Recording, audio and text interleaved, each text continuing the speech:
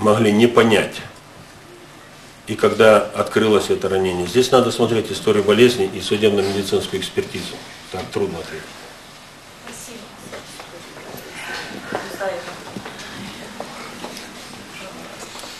Когда вы прилетели, Славушева, вы в штабе встречались? На территории, где должен был расположен штаб, во дворе этого здания. И еще один вопрос. Результаты анализов ДНК за какое время можно узнать? Сколько дней надо, чтобы вот были готовы результаты ДНК? Я затрудняюсь ответить, не специалист в области Ну, криминалистики. которые в Ростов отвозили? Да, но это не уровень моей компетенции. Я могу уточнить, где-то узнать по справочнику. К сожалению, этого не знаю. Ну, как говорится, нету в голове. Сергей Федорович, Фамилию называйте. Сергей Федорович, вы, Фамилию называйте. я сказал, потерпевший Мисиков. Сергей Федорович, вы сказали, что после того, как Руслан уже вам сообщил количество людей, у вас совсем другое уже отношение было к этому делу. Вы должны были по своему статусу организовывать спасение уже свыше тысячи человек. То есть мобилизовали санитарные машины, то есть э, всю работу должны были провести, с- ну, исходя из количества людей, которое вот открылось после Руслана Алшалова. А как вы можете оценивать тогда? Вы входите в штаб, э, работу этого штаба, потому что, допустим, чтобы вывозить раненых, как вы оцениваете работу штаба? Они не смогли отсечь, допустим, гражданское население, э, препятствовало про- проезду санитарных машин. Вот все вот это, это же м, препятствовало вашей прямой работе по спасению людей. Ведь многих могли вот из-за этих вот неразберих не довести, кто-то мог скончаться. Как вы можете оценивать? Вы можете же оценивать? Или потребовать от штаба могли бы, чтобы вот это было организовано? Может, это и не вашей компетенции, я не знаю. Было тогда. Но оценивать-то вы можете? Оценивать могу, конечно. Одна из немногих чрезвычайных ситуаций, где, на мой взгляд, организация, вот в Москве, если происходит ЧС, уже никто никогда через блок кольцо не пройдет. Здесь люди проникали вокруг все. Мне дали на помощь в больницу 10 донских казаков, которые не пропускали другой транспорт. Они сколько могли сдерживали. К сожалению, э, один майор ГАИ помогал, больше никого не было, они где-то были заняты все. И потом уже транспорт поехал здесь э, уже к концу поступления раненых, и народу столько стало много, то есть вот э, этим органам, отвечающим там, не удалось сдержать население, но, наверное, было это и невозможно сделать с учетом и мен- менталитета Северной Осетии, оторвать их, разорвать. Поэтому мы разрешили вход на территорию больницы. Единственное, что не разрешали заходить в модули, где велись операции, и старались максимально проинформировать. К концу дня очень большая группа собралась вокруг этого маленького морга на территории больницы. Но там уже э, врач сам руководил, главный врач этой информацией. А так э, из медсестер поликлиники всю информацию они о поступающих быстро записывали и вывешивали на стенах поликлиники. С точки зрения, что машинам скорой помощи мешали проехать, э, возможно, такие обстоятельства, они всегда бывают именно в момент отъезда от школы. А в дальнейшем здесь у нас тут была нормально, петля работала, с воем все носились. Это вы могли сами заметить и видеть. То есть я могу, Сергей Федорович, понять, э, дать ваш ответ, что работа штаба проводилась очень, ну. Я не могу говорить об этой работе штаба, поскольку, мне кажется, это не штаб, или кто-то должен был заниматься этими делами, да? А местные органы милиции должны были заниматься организацией этой работы. То есть работа была организована плохо. Я этого не говорил, это допустим, по сравнению с Нордостом. По сравнению с Буденовском и Нордостом могу доложить. В Буденовске у нас было поэтапное освобождение захваченных заложников, это совсем другая ситуация. Там были только необходимо оперативное вмешательство тяжелым больным и раненым, небольшое число. А в Нордосте там тоже был момент 15-минутной задержки отправки скорой помощи, потому что машины были перегружены боевой техникой и все остальными. И этот факт был отмечен прокуратурой и так дальше. То количество детей, которые вы назвали, что они были уже погибли, могли не погибнуть из-за того, что была работа штаба плохо организована, чтобы их спасти? Я прямой связи здесь не могу установить, потому что я говорил о несовместимых с жизнью ранениях. Причем штаб. Если Во временном факторе. временной фактор здесь не играл роли, потому что, допустим, ну, разрушение мозга, разрушение сердца тут. Человек, говорит, э, получил несовместимое жизнью ранение, но не успел умереть. Есть такое понятие в медицине. Они нуждаются только в уходе, агонирующие. Таких было пять детей. 14 взрослых. Сергей Федорович, у меня такой вопрос. После того, как вы разговаривали с Аушем и уточнили о количестве заложников, вы приняли решение, вот вы по сводке сказали, что количество скорых помощи, которые были призваны для работы с, потерпе- с, с пострадавшими, такое ну, определенное количество скорых помощи. Кто решал вопрос, вот, что скорые помощи со всех районов нужно туда э, собирать на 300 человек? Если это штаб решал, то как они решали на 300 Штаб человек? к этому это отношения решали? никакого не имеет. Это А мы это решали решал? вместе с министром здравоохранения Соплевенко Александром и директорами центров близлежащих территорий. А министр здравоохранения в штаб не входил. Этого я не знаю. Я не знаю состава штаба. То есть на тот момент, когда вы решали вопрос о скорых помощях, министр здравоохранения уже знал о количестве заложников. Не знаю, это его надо сказать. Но как вызывали вы со всех районов скорые для того, чтобы э, обеспечить Со- безопасность? С районов С районов. Алании вызывал министр. Правильно. Я вызывал с Правильно. других территорий, они мне подчинены. Значит, министр уже с знал на тот момент, вы поставили его в известность том, Он ответил на количество- вопрос, что он не знает. Министр знал или Это нет? надо у министра спросить. Я когда узнал о числе заложников, я понял, что имеющими силы средствами мы не справимся. Одно дело 300 человек, а другое... И я рассчитывал, что если 300 человек, то силы средств больницы хватит и моей одной бригады, которая сидит в домодедово. Ну вы же ему сказали о количестве заложников? Конечно. Ну, вот Это же, я же говорил, То что совещ- знал уже 2 числа. совещание количество 2 числа я привел, э, когда собрал всех руководителей здравоохранения, могу перечислить, кто там был. Всех. Сориентировал о числе заложников максимально, на максимальную цифру, чтобы люди ну, осознанно подошли, что лучше здесь пусть будет, мы переборщили, лишь бы готовность была, понимаете? Вот. Исходя из этих позиций. И стали привлекать, ну уже до этого я дал команду привлечь Кабарду, Ставрополь и так дальше. И тут же э, прибытие полевого педиатрического госпиталя. То, то тех людей, которые умеют работать в этой обстановке. Теперь же, Галя, Сергей Федорович, скажите, пожалуйста, вы работали с ранеными, а вот э, кто определял факт гибели э, детей и причины гибели детей? Это судебно-медицинская То экспертиза. есть вы никакого отношения к этому не имели, да? Потому что очень многие не знают, по причине какой погибли их дети. Я могу только говорить о тех э, пострадавших и пораженных, которые были у нас живыми. А погибших это уже другая область. И это, извините, а вот эта экспертиза должна была сразу же Я не знаю, как это должно быть организовано, это область не моей компетенции. Есть специально на этом порядки, правила проведения судебного. Подсудимый. Нет. Спасибо, Сергей Федорович. Я могу быть свободен? К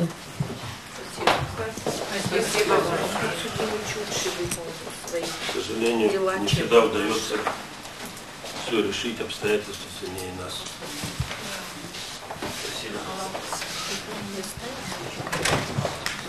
Соплевенко.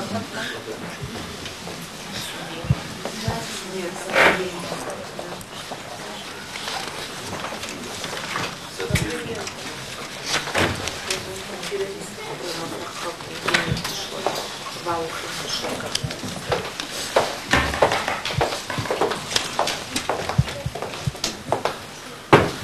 день. Назовите, пожалуйста, фамилию, имя, отчество. Соплевенко Александр Валентинович.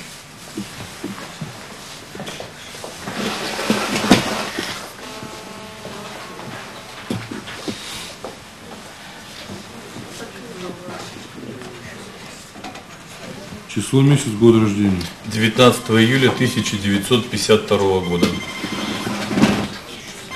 Выключите мобильный телефон, пожалуйста.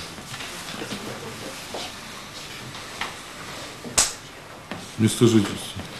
Город Владикавказ, улица Ливаневского, 22.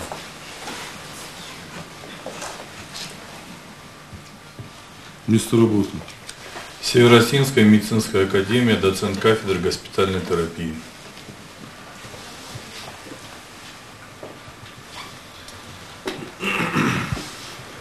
Суд разъясняет вам ваши права. Вы вправе отказать свидетельствовать против самого себя, суд близких родственников, давать показания на родном языке или языке, которым вы владеете, пользоваться помощью переводчика, заявлять ходатайство, приносить жалобы на действия бездействия суда, являться на допрос с адвокатом, ходатайствовать о применении в отношении вас мер безопасности, не вправе уклоняться от явки по вызову в суд.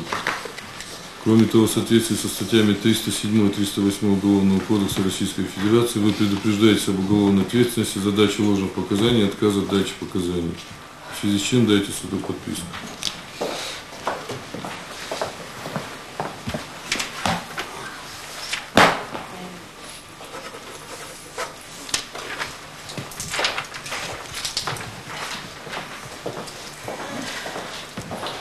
Вам предоставляется право дать показания по существу дела, пожалуйста. Александр Владимирович, просьба, расскажите вот о событиях, э, которые известны э, вам, как свидетелю, очевидцу, 1-3 сентября. Что вам стало известно последовательно о захвате заложников, о их количестве, о возможном участии э, медицины в последующем спасении? Пожалуйста. Значит, э, ну, 1 сентября, это День знаний, я находился тогда на посвящении первокурсников Северо-Российской медицинской академии. Мне позвонил председатель правительства, это где-то было часов 10-15, 10-20 ориентировочно. Сказал, чтобы я все бросал, ехал в Беслан, что в Беслане террористы захватили заложников в школе, что президент находится там, и чтобы я приехал, ему доложился, и он даст мне указания для дальнейших действий. Я все бросил и поехал туда, в Беслан, сказать, нашел Засохова Александра Сергеевича, он мне сказал, что вот так и так, школа заложники, как будут развиваться события, не знаю, но я должен сделать все для того, чтобы здравоохранение оказало максимальную помощь пострадавшим, когда этот сказать, захват будет завершаться. Каким способом, пока я говорит, не знаю. Я после этого приехал в центральную районную больницу Беслана, и там находился фактически где-то до 10-12 сентября, фактически безвыездно, ну, выезжал на какие-то эти. Тут же мы, так сказать, собрали штаб в Министерстве здравоохранения, распределили обязанности. Значит, ну, по количеству заложников. Первоначально называлась цифра порядка 350 человек, потом где-то около 70 называлось. Ну, вот я так понимаю, что эту цифру исходили из чего? Это количество школьников первой смены, плюс, так сказать, какое-то количество родителей. Потом я сам участником я не был этого, но по, со слов так сказать, администрации местного самоуправления проводился подворовый обход для того, чтобы определить точное количество заложников. И после проведения этого подворового обхода цифра вот где-то около 700 возросла. В дальнейшем, это уже было 2 августа, когда были освобождены несколько женщин с грудными детьми, тогда уже, так сказать, они назвали, что свыше тысячи человек находится в школе. И, соответственно, вот исходя уже от количества заложников, мы корректировали свои действия. Во-первых, так сказать, были освобождены койки во всех центральных больницах города Владикавказа. Это республиканская больница, детская больница, больница скорой помощи. И плюс для резерва мы попросили освободить э, койки в больницах, которые не входят в нашу систему. Это больница Э, железнодорожной и больница медицинской академии. То есть они тоже были готовы к приему заложников. Значит, первоначально мы рассчитывали, что э, эвакуация уже пострадавших заложников мы сможем осуществить собственными силами, то есть это больница, это машины скорой помощи города Владикавказа и близлежащих, так сказать, районов, Ардон, Алагир, пригородный район. Но когда мы уже узнали, что фактическая численность заложников гораздо выше, мы обратились за помощью Министерства здравоохранения Кабардино-Балкарии, Ставропольского края.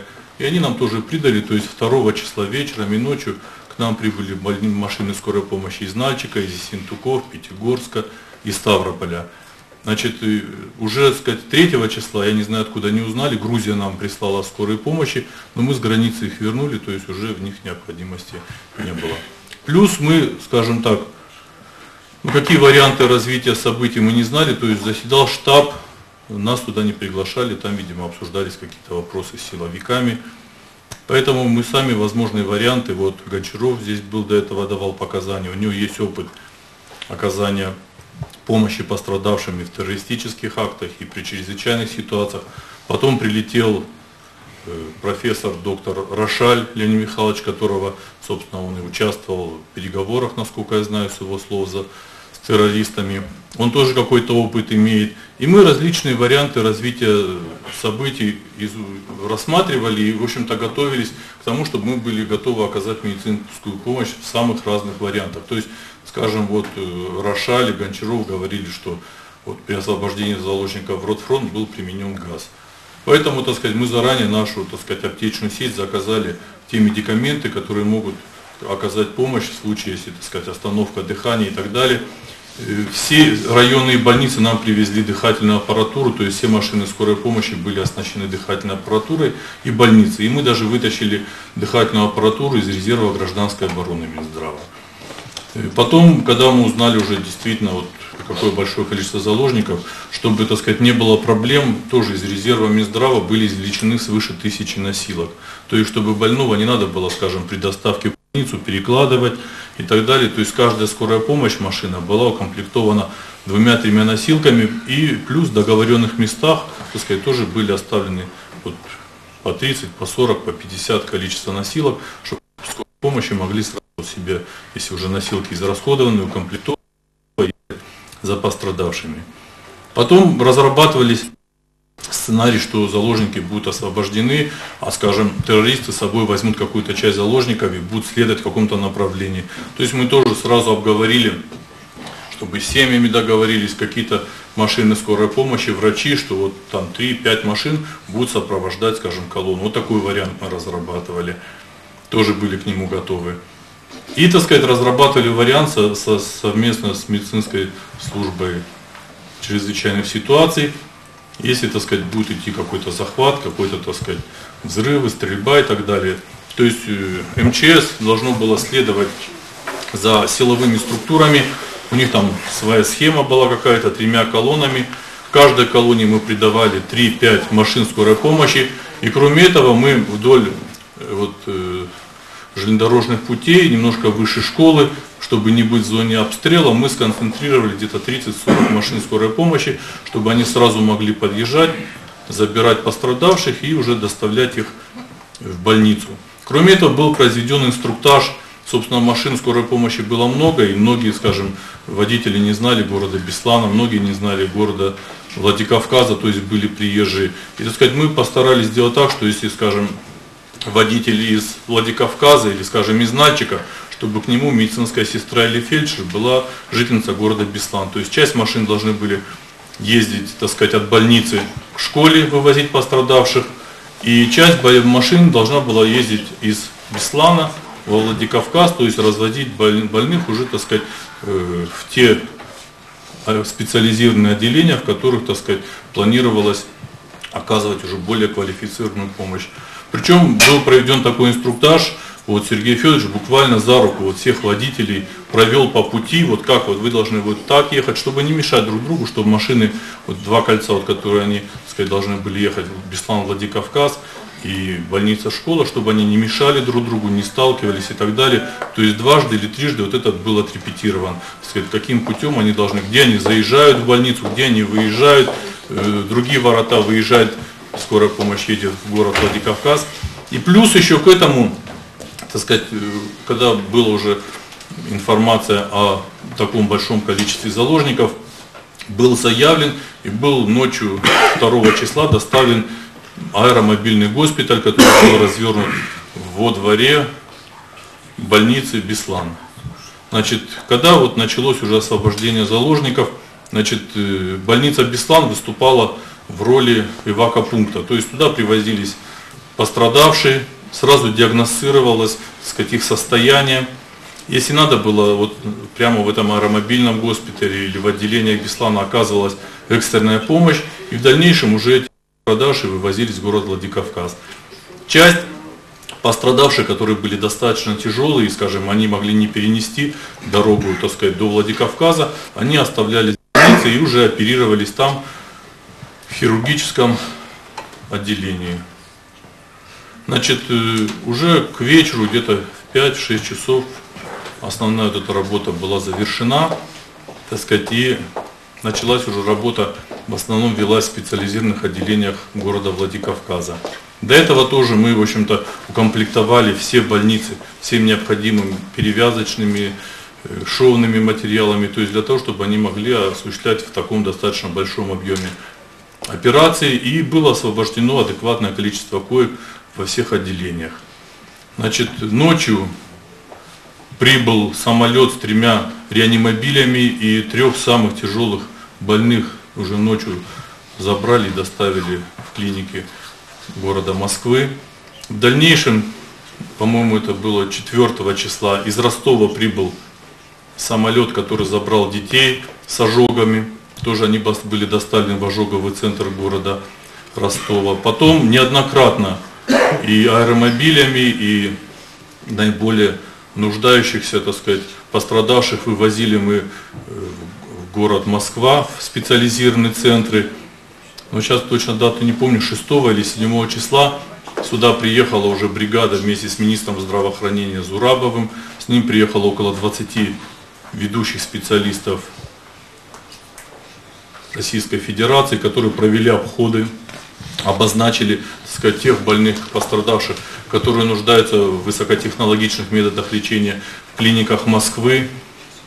И, в общем-то, а потом как-то получилось так, что многие вот родители даже или родственники тоже вот э, изъявляли желание, чтобы, ну, мы хотим в Москве лечиться. И получилось так, что практически всех пострадавших, которые на тот период не выздоровели, не выписались из больницы, они почти все были потом направлены в клинике города Москвы, и там уже завершали свое лечение, или намечались реабилитационные этапы лечения и так далее. Ну вот, собственно. Александр вот просьба, давайте мы вернемся к событиям о первого числа, когда вы говорите, Засоха вам сказал, сколько было заложников, да? Нет, он мне цифру не называл, вы знаете, у меня с ним, он был занят, то есть его разрывали на части, он мне говорит, вот буквально Саша, езжай и, в общем, организуй, чтобы э, здравоохранение полностью было готово к оказанию помощи. А у вас вопросов не возникло? Вам же нужно, чтобы определиться, сколько Ну, по численности, по численности заложников, скажем так, я контактировал уже с главой администрации района, с главным врачом Центральной районной больницы. То есть, понимаете, цифру вот однозначно не называлось. То есть, я говорю, вот расчет как-то вот мы встречались, вот главврач района, он говорит, по-моему, говорит, они считают так, вот первая смена и плюс родители по одному чеку, они, по-моему, вот так считают. Потом он поднял свои списки, то есть в больнице есть списки детей школы, так сказать, которые состоят на учете, так сказать. Так сказать вот все, все время это уточнялось. То есть я знаю, что по дворовые обходы сразу администрация, так сказать, района провела. То есть они приходили по спискам в адрес какой-то определенный, ну и выясняли, сколько человек, кто есть, отсутствует. Были, так сказать, дома, насколько я знаю, квартиры, которые вообще были заперты. То есть, вот я не знаю уже, как они считали, то есть, э, что нету информации или что все, кто проживает в этом доме, находятся заложники. Но ну, Здесь... Вот, когда вот чтобы мне кто-то сказал официально, вот здесь 350, 450, я не могу, мне такого не было. А вот вы говорите, что около 700, потом позже. Позже, это когда вы узнали? Ну, так, скажем, где-то... Откуда ну, вы узнали? Вы пойдете, чтобы сказать, вот мне кто-то официально сказал, вот здесь 350 или 700. Это все время, вот, знаете, я два-три раза в день старался приехать в здание администрации э, района и вот просто какую-то информацию получить что планируется, какие планы, э, будут, будет ли какие-то, так сказать, меры. Ну, вели переговоры, все были, так сказать, это. И вот ходишь, вот там кто-то вот что-то уловил. Но вот скажу, что, скажем, что больше тысячи человек, это мы узнали, вот когда выпустили женщин с грудными детьми. И, так сказать, и вот эти женщины, они были как раз в больницу помещены. И медицинские работники нам сказали, вот, вот они все, вот, да? да, да, это было второй час, что все они утверждают, что там свыше тысячи человек находится. И вот мы стали тогда уже ориентироваться на эту численность свыше тысячи человек. И, в общем, тогда вот начали готовиться, чтобы оказать медицинскую помощь именно на этой численности. Вы входили в оперативный штаб? Вы знаете, по-видимому, входил. Но чтобы вот заседаний каких-то вот таких официальных я не присутствовал, чтобы прийти, за столом председатель сидит, сидит, так сказать, члены комиссии или штаба. Вот такого я ни разу на таком заседании не А как присутствовал. вы связывались э, с руководителем штаба? Я говорю, я два-три раза в день приезжал, так сказать, А в администрацию А кто, и штаб, кто штаб возглавлял? Ну я не знаю, я к Засохову обращался, я Это старался его найти, так день. сказать, да, и во второй день тоже, потому что других, там были другие, но они все, я говорю, там и ну, министр МВД, и Ну, конкретно. председатель ФСБ, но они все вот бегали, то есть их, они вот, Ну конкретно вы общались с Андреевым? нет, Он руководитель штаба? Нет, нет, нет да? с ними Он не вам задач никаких не Нет, ставил? нет. То есть вы сами определили, Да. что более тысячи человек, сами ставили свои задачи Да. специфические. Ну, а вы не возмущались тем, что а что ж вы нас не поставили в известность? ну понимаете, Одно дело 300 человек, а другое дело 1000 человек. я прекрасно понимаю, что, так сказать, та, которая информация была, они ею и располагали. Я думаю, вряд ли эта информация скрывалась, что тысячи человек, а вот нам говорят 300 или 350. Ну, После что Да. в обед, Да, после обеда, да, да, уже- 2 числа вы уже знали. Мы уже знали, то есть это женщины, которые лежали в больнице, но опять-таки эту цифру официально мне никто не доводил, чтобы вот там вот такая численность, и вы должны готовы к приему вот такого количества пострадавших, этого не было. И вот вы полагаете, что достаточно было э, и машин скорой помощи, медикаментов? Вы знаете как, я скажу, вот когда вывозили пострадавшие от школы в больницу, собственно, вот между приездом каждой машины где-то одна-две минуты. То есть, чтобы вот стояли, ждали или, так сказать, ожидали пострадавшие, не могли вывести, такого нету. То есть, я считаю, что количество машин было адекватное. Другое дело, что я сам видел случаи, когда, так сказать, ну, кто-то из родственников или родителей своего ребенка в свою машину кладет и привозит его на своей машине. Но это было не потому, что, так сказать, ну, не было скорой, просто вот они не хотели ждать, и вообще там такая была ситуация. То есть вот даже в помещение, в зданием двора больницы, туда въехать невозможно было. Там стояла толпа родственников, которые все ожидали, вот, ну, искали своих, естественно. Даже попросили вот э, мужчин, чтобы как-то оцепили и вот оттеснили, чтобы была площадка, где машина разворачивается, чтобы выгрузить там из машины скорой помощи пострадавшего, чтобы диагностировать, скажем, какой вид поражения. Кто-то были, скажем, ну просто вот шок, ран, никаких повреждений нету. Его тогда вот в этот мобильный госпиталь относили, делали противошоковые мероприятия, обезболивающие, согревали одеялами, там специальные были, чай поили и так далее. И там после наблюдения часа-двух уже отпускали домой. Кого-то, кто-то, сказать, вот я говорю, если уже ставили диагноз, там перелом там, или какие-то повреждения костно-мышечной системы, их отправляли в больницу скорой помощи, где травматологическая, при ожогах в ожоговое отделение, при нейротравме в республиканскую больницу, нейро. То есть уже там проходила сортировка, и уже врачи, которые на этой площадке работали, они уже распределяли кого что. Но я говорю, чтобы вот стояли и ждали, нету машины, вот пострадавшие ждут, такого не было. 3 сентября. Там расстояние достаточно небольшое было, то есть быстро вот эти машины успевали разгрузиться и снова поступить. 3 сентября, вот когда э, взрыв произошел, вы слышали эти взрывы, сколько было взрывов? Вы где находились в Я находился в больнице. больнице? Взрывы слышали? Ну где-то два или три. Вот чтобы так вот. Там все время звучали выстрелы, звучали вы- взрывы. То есть, чтобы сказать, что вот я как-то акцентировал внимание, что что-то там вот началось, я не могу. А вот когда все-таки началось, когда вам пошли поступать э, раненые, э, вот вы находились также в больнице? Да, не- да, да. Не выезжали к месту, Нет, к школе? нет. У нас было распределено, понимаете как? У нас вот, э, скажем так, я говорю, что чуть выше железнодорожной трассы, у нас там где-то 30-40 машин скорой помощи все время стояли в ожидании. И там дежурил заместитель Реутов Александр Викторович. Так сказать, и вот, когда, видимо, стали уже направляться, и плюс с, с колоннами Министерства МЧС, то есть было где-то 3-4 машины. И вот только появились первые скорые, мы поняли, что там что, ну туда выезжать, там все было организовано, он занимался там, мы на телефонной связи были. То есть когда вот машины, так сказать, как-то уменьшились, я ему на мобильный телефон перезвонил, он говорит, уже у нас здесь пострадавших нету, то есть уже поток. Это когда примерно было по времени? Сейчас где-то в куда? два, в три, вот так где-то. так вот я сейчас затрудняюсь, понимаете, там такое время летело очень быстро, и на часы смотреть, то есть это вот, Ну еще не темнело. нет, было светло. Два-три часа вы да? Ну, Где-то да, вот так. Больше, меньше, да? Может, не может даже, быть, да. понимаете, я тогда было... Да, нет, ну где-то до 5 до 6 это вот сортировали уже во дворе больницы, так сказать. Где-то в 5-6 уже, так сказать, в основном все раненые были отвезены, доставлены и так далее.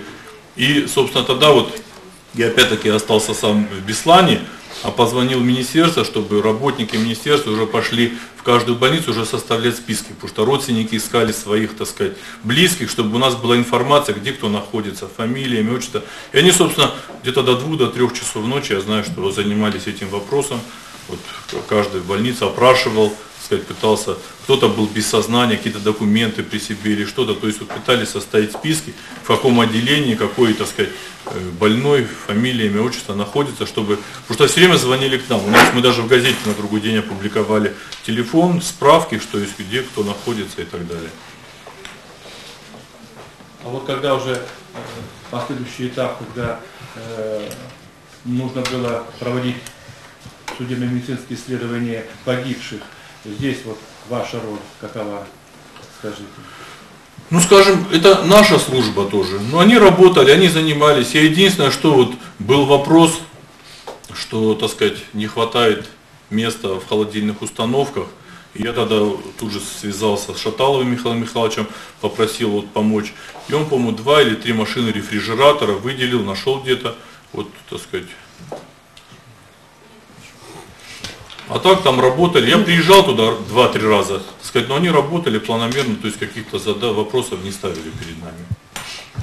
Александр Валентинович, скажите, пожалуйста, сказался ли рост данных о количестве заложников на уровне вашей подготовки к их приему и оказанию? Понимаете как, если бы, скажем, вот, э, вот этот высвобождение произошло бы 1 числа, наверное, бы мы были не готовы.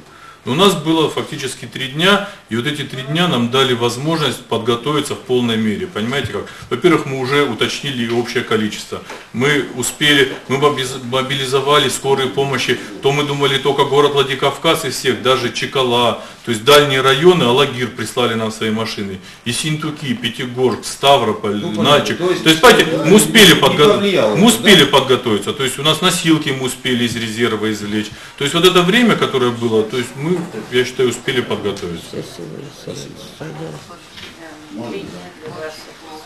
Скажите, пожалуйста, вообще штаб был оперативный в Беслане? Ну, скажем так, когда мне позвонил Шаталов, он мне сказал, езжай в штаб, доложись за Сохову, что ты прибыл, и он тебе даст указания, как тебе действовать дальше. То есть вот Вы в было... своих показаниях четко говорили, что штаб возглавляемый Засохов. Ну, так- Нет, Это непонятно. понимаете как, я на заседании штаба ни разу не был. То есть я поэтому... То есть штаба не было? Я не могу сказать. Я, по крайней мере, на нем не присутствовал. Может, он был, заседал без меня.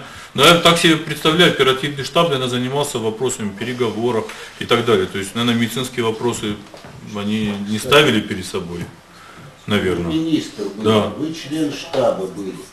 И вы не сегодня Ну я на заседании, я вы говорю еще раз, ни, ни на одном заседании штаба я не был. Кто сидел председателем, кто... Штаб может это в бюрократическом понимании председатель, Ну, скажем так, минеральная вода. У нас, вот скажем, мы у секретари. себя в Министерстве здравоохранения тоже. То есть я подписал приказ, и мы создали штаб. Но чтобы мы Там же сидели, времени, мы сидели, да. заседали, так сказать, я такого ни разу не был. То есть я все время давал на телефоне, давал указания, там вот э, Ревазов, Таймураз, ты находись все время на связи со всеми, я да, понял. да. То есть, понимаете как, что и штаб был, но в то же время он Но и не был, да? да, то есть он, Правильно? чтобы собраться заседать, вот чтобы мы сели, какие-то вопросы Ну, обсуждали. заседали, это оперативный штаб. руководил кем-то. Наверное. Захватили Ну, по крайней мере, Засохов мной руководил. Вот он мне дал указание, ты должен здравоохранение подготовить полностью для... И вот я говорю, когда приходила, спрашивал какую-то информацию. руководил? Ну, мною он руководил, а кем он еще руководил, я не знаю. И вы сделали вывод, что он начальник штаба. Ну, по крайней мере, он мой руководитель, как президент республики. Причем Да. президент? Хорошо, мы о Беслане говорим. Все правильно. Он и в Беслане был президентом. Да, конечно. Он президент Он республики первого оставался. числа вами руководил, Да. второго, Да. третьего. Ну, видимо, да. Ну, Да, прямых видимо. указаний, Измайлович, я еще раз сказал. Он мне сказал, он мне дал, он мне сказал, ты должен сделать все для того, чтобы здравоохранение было готово максимально оказать помощь пострадавшим. Вот и все. Он несколько раз спрашивал, как у тебя все, что-то. Как-то был какой-то нюанс, скажем так, город не хотел все машины отдавать. Мы хотели Не все... надо, скон- не надо. Не, просто рассказываю. Не что- надо просто рассказывать. Здесь мы не для этого собрались. Скажите, пожалуйста, у меня вопрос. Скажите, пожалуйста, вы министр здравоохранения, захвачена школа. Вы задумались вообще, в первый день, приехав в Беслан, полюбопытствовали хотя бы, сколько же человек захватили террористы? Речь шла о захвате людей. Вы спросили у Засохова, у кого-то, у третьего, у пятого, на улице, в конце концов. Кто-то я, по- был? я, по-моему, ответил на этот вопрос, когда Так вот... сколько в первый день сказали было заложников? Первый день я сказал, что первоначально была информация, около 350 человек Кто называл. вам дал эту Ну, информацию? я сейчас не могу, во-первых, прошло уже больше года, сказать, я сейчас просто даже не могу. Но официально, скажем, письменно, что вот заложников 350 человек, про- просим оказать их помощь, такого я Первый не день получил. сказали, было 350. Да. Потом где-то в конце-. Ну, в здании администрации, скажем так. Да. Понятно. Скажите, пожалуйста, вот вы сказали, вы к Засохову обращались, а вы не интересовались, а как будет с заложниками, штурмовать будет, какова будет судьба людей, что будет делать? Не интересовались? Я знаю единственное, что все, и в том числе Засоха, говорили о том, что штурма не должно быть. Вот это я знаю, это а несколько что раз. должно быть, говорили? Не знаю. Переговоры. Значит, говорили, штурм Да, конкретно- быть, а что должно быть, никто не знал. Правильно? Поэтому я говорю, что мы готовились с различным развитием варианта событий. Вот вы сказали, Андрей, вы Дзантии бегали. А куда они бегали? Ну, вниз, там где-то в первый, на первом этаже комната была, туда вообще никого не пускали. Там где-то связь шла, так сказать, там, видимо, заседание штаба было, туда вообще никого не пускали. Там, так сказать, велись переговоры телефонные какие-то, спецсвязь там была и так далее. Видимо. Ну, я туда не заходил, меня туда не пропускали, например. Ну, Как-то я, как-то, да меня там стояли, не, не запускали. Туда как-то я с Рошалем приехал, его и то полчаса, пока его завели, вот вы должны переговорить сейчас с заложниками, с террористами. Вот его пустили, меня не пустили туда. Вы пытались Я- штаб, нет. но вас не Но я не могу сказать, что это штаб. Может быть, это комната, где велись переговоры. Я, Измайлович, там надписи штаб, Так, что и так далее. Телефоны. там в комнате? Нет, телефоны, видимо, там связь какая-то специальная была. Может, прослушивание Кстати, было. Вы, вот, вы знаете, что Рошаль давал информацию о том, что здоровью детей ничего не угрожает, что их состояние может быть стабильным в течение 7-8 суток. Вы слышали такую информацию от него? Нет, я знаю единственное, что вот по его предложению нами были разработаны Я рекомендации. не об этом вас спрашиваю. Нет, ну я еще, нет, я вам отвечаю, что мне Рошаль, так сказать, говорил. Да меня я вас не об этом спрашиваю. Я вас спрашиваю. Вы слышали о том, что Рошаль заявлял и по телевидению, и по радио, что здоровью детей ничего не ничто не угрожает, что они без воды и без питания спокойно могут себя чувствовать нормально в течение 7-8 суток. Вы же врач, да? Как Нет, вот это, так сказать, его заявление я не слышал. Я единственное могу сказать, что он был инициатором того, что была разработана рекомендация, что дети, находящиеся длительное время в обезвоженном состоянии, без воды, без еды, как их кормить и поить. И была эта рекомендация, так сказать, даже распечатана. После освобождения Нет, это было 2 числа где-то сделано. рекомендация кому? Письменная родителям. Которые в зале были дети. Еще раз говорю, вот если, вот если детей выпустят, вот выпустят, они 2-3 дня находились в обезвоженном состоянии. Как их поить, как их кормить и так далее. Что сразу не надо много. То есть вот такая рекомендация, Ну да. До кого вы довели? Ну я не знаю, он ее раздавал, даже я знаю, что на площади. Он на площади ее раздавал. Потом там в Доме культуры был центр психологической помощи, там эти, так сказать, рекомендации давали. И он считал, что это даже немножко психологически, может быть, так сказать, Так, давайте успокоить. Скажите, пожалуйста. Сапливенко, я извиняюсь. Да. Давайте так, вы, пол- вам задают вопрос конкретно. Да, на ответ. вопрос. Да, не надо рассуждать, не надо уходить никуда. Понятно. Слышал, не слышал. Если слышал, то да. Если не слышал, Всё. значит не слышал. Правда? Скажите, пожалуйста. Вот когда вы приезжали первого, второго, я к вам обращаюсь, потому что вы член штаба были, вы числитесь вот в документах. Велись какие-нибудь переговоры с, бои, с террористами или нет? Велись. Кто их, Я участником не был, поэтому не знаю. кто их вел? А откуда вы знаете, что они велись? Ну, скажем так, Рошаль мне говорил, что он вел переговоры. Вообще вы знаете, что такое переговоры, профессиональные переговоры с террористами? Вел переговоры по поводу чего? он? Значит, он э, предлагал им, чтобы его пропустили в школу, чтобы он принес, так сказать, воду, э, питание, чтобы он предлагал свои услуги, да, чтобы он оказал, помочь да, помочь, так сказать, заложникам. Они отказались от этого. Он говорит, я все равно приду, это он мне рассказывал, я все равно приду. Если, так сказать, вы придете, мы вас убьем. Вот. Это вы считаете переговоры, да? Ну, это он мне рассказал, как он вел разговоры. слышали Я не могу сказать, это переговоры нет. Террористов, вы Нет. слышали что-нибудь? Вообще не было Нет. разговора? Не было вообще разговора. Вот о кассете пустой. Вы слышали, что Ну, скажем так, на уровне слухов что-то я слышал. Официально я... У меня были немножко другие задачи. Скажите, пожалуйста, вот, а вы были членом антитеррористической комиссии республики? Скажем так, где-то вот в конце Скажем августа, так, были или нет? в конце августа было совещание в МВД проходило. Меня туда пригласили. Наверное, как члена антитеррористической комиссии. Документ о том, что я являюсь официально членом, я не видел. А вам заявлял кто-нибудь, что вы являетесь... Ну, пригласили туда, и там, да, пригласили туда, так сказать, и сидел. Да, да. А какие вот на этом совещании решения принимались? Ну, сейчас я затрудняюсь, сказать, это было достаточно давно. Примерно. А принимались? Ну, было сказано, что вот создаются такие комиссии, что создаются, сказать, чтобы координировать действия всех силовых структур и так далее, и так далее. Что задача, это, это организационное было заседание, я так понимаю. Ну, э, вы извините, может вопрос у меня, может быть наглый, может быть не тактичный. Вы же прессу местную читали в то время? Северную Осетию газету. И что? Вот в Северной Осетии было написано, что 23, это за 24 августа газета, вы член антитеррористической комиссии, вот ваша фамилия здесь есть. И в газете было написано, что этой комиссии, что у нас есть разработанный план по противодействию антитеррористической деятельности, что разработаны необходимые мероприятия, что приняты специалисты по антитеррору в МВД 120 человек. Вот вы можете что-нибудь пояснить? Еще раз говорю, вот когда это заседание проходило, я понял, что это организационное заседание, первое, то есть нас познакомили, что вот создается такая структура, что будет работник, ну я вам рассказываю, что я знаю об этом. Вы- а я вам задаю конкретные вопросы. Вы на этом заседании комиссии